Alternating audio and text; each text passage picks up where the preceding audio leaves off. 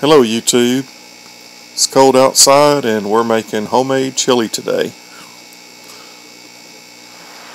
This is what we call a Tex-Mex chili recipe. It's not as spicy as the four alarm chili recipe mix that you can buy in the store. It's the way we like it. You'll want to start with one pound of lean ground meat in this video I am making a double batch so if it looks like a lot more than that that's why. Season your ground meat with a little salt and a little pepper and you will want to cook the ground meat until it's brown. This does give a little bit better flavor. Then to the ground beef when you get it done you'll want to add one cup of chopped onion and one half a cup of chopped bell peppers when you see that the onions have begun to wilt or kind of start translucent looking around the edges, you'll add two cans of pinto beans. I can my own, so I'm using a quart of pinto beans.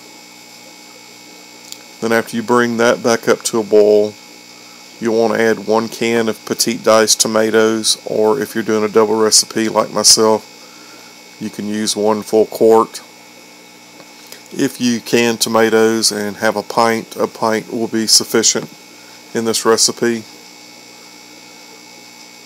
Keep your heat on medium at this time and you'll want to bring it back up to a, a simmer and when you get it at a simmer you can slack the heat off a little bit and just have it at a low simmer. You'll want to add about a half a cup of water to it because this recipe is going to cook down cooking for, you know, 20 to 30, 40 minutes. Next, we're going to be adding our seasonings. We're going to season the chili with three tablespoons of chili powder, one tablespoon of garlic powder, one and one half teaspoons of onion powder, and one teaspoon of cumin. After you get your seasonings added, you'll want to stir the chili mix up real well into the chili and put a lid on it and simmer it for a good 20 minutes. You will want to stir it ever so often to make sure that for some reason it is not sticking to the bottom of the pot. Once you get your chili simmered for 20 minutes, that, that time is a good time to taste it to see if it needs more chili powder for your taste, more onion powder, more garlic. When you're cooking, it's all about cooking and making things the way you want it.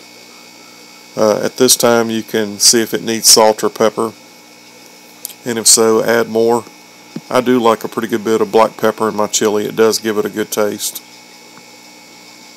Then you're going to put the lid back on it and keep simmering and stirring it for an additional 20 minutes at least. I cook mine a good 45 minutes to an hour. In this pot you can see that it's reduced down three quarters of an inch or so.